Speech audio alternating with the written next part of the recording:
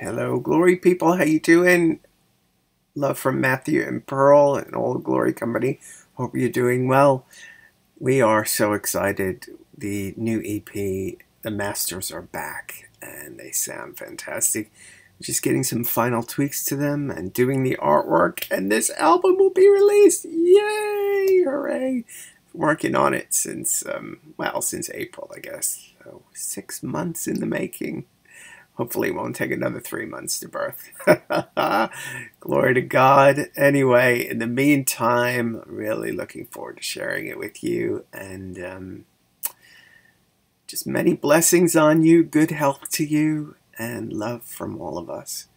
Our hearts are with you, our prayers are with you. We pray for all of you. Love you so much. Bye.